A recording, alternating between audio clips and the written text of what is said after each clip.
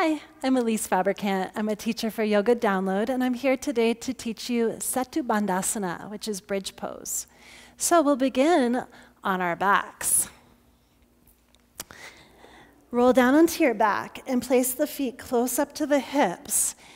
Now it's important that the feet are hip width distance apart, with the toes right in front of the heels. There's a tendency often for the toes to turn out. Bring them back so that the feet are parallel. Then you can lift up your hips just about one quarter of the way to begin and start to roll your shoulders underneath the body. Some people like to place the hands down to the ground. Some people like to clasp the hands underneath the butt. Your choice. Bridge pose is one of the only poses in yoga that actually calls for the shoulders to be shrugged up towards the ears. So take those shoulders up a little bit. This will allow the neck to lift up off the ground slightly, creating a cervical spine curve. Very healthy for the neck.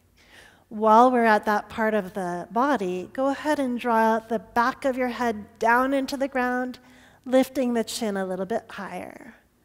So shoulders down, head down, curve through the neck, press the feet into the ground, and from here, lift the hips to your full capacity. Hips lift, rib cage lifts. Now the chest lifts and moves towards the chin. The chin doesn't want to have anything to do with the chest, so move it back away. Notice your legs. If your glutes are really engaging and squeezing, the legs might be splaying apart.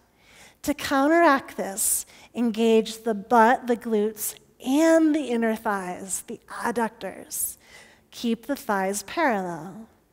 Finally, press the feet into the ground and energetically swipe them back towards you, towards your butt.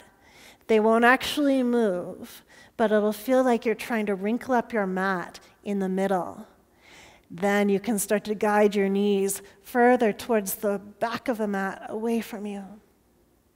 One more breath into the belly, and then slowly release. Unwind the arms if they're bound. Come down ever so slowly. Releasing from bridge is a nice way to set up Shavasana. The spine and hips should be in a perfect alignment for that final relaxation.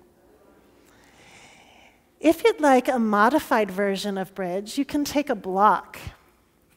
Same setup with the feet and legs, and you'll just lift the hips up enough to slide the block underneath the sacrum. The sacrum is that bony triangle right above your butt crack, and it feels very nice and supportive to rest there. The block is usually good at the medium height. Depending on your height and your flexibility, you might want it at the higher level as well. And then as you rest in a supported Setu Bandhasana, you can just let the belly rise and fall with the breath. Nice massage of the thyroid gland. Very supportive. All right. I hope you learned something about Setu Bandhasana today. Thanks so much. Namaste.